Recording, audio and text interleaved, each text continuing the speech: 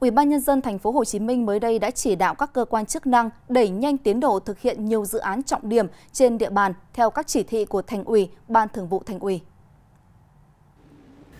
Đối với các chỉ thị, chương trình hành động đã được Thành ủy, Ban Thường vụ Thành ủy Thành phố Hồ Chí Minh khóa 10 chỉ đạo, Ủy ban nhân dân Thành phố Hồ Chí Minh giao các sở ngành, địa phương đẩy mạnh thực hiện đảm bảo tiến độ đề ra, tham mưu đề xuất để thành phố điều chỉnh, bổ sung, cập nhật nội dung cho phù hợp nhằm sớm tháo gỡ khó khăn, vướng mắc, đẩy mạnh tiến độ thực hiện hoàn thành các dự án trọng điểm, gồm dự án giải quyết ngập do triều khu vực Thành phố Hồ Chí Minh có xét đến yếu tố biến đổi khí hậu, dự án xây dựng cầu Thủ Thiêm 2, dự án xây dựng 4 tuyến đường khu đô thị Thủ Thiêm và khép kín đường vành đai 2. Ngoài ra, sớm hoàn thành các thủ tục đầu tư dự án xây dựng tuyến cao tốc Thành phố Hồ Chí Minh, Mộc Bài, khu đô thị Bình Quế, Thanh Đa, quận Bình Thạnh và dự án nạo vét, cải tạo môi trường xây dựng hạ tầng và khai thác quỹ đất ven rạch xuyên tâm.